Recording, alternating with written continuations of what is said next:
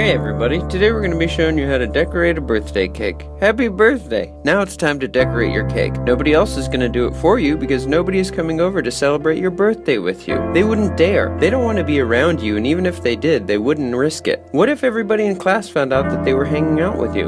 They'd be a laughing stock. They'd be chastised and brutalized and shunned.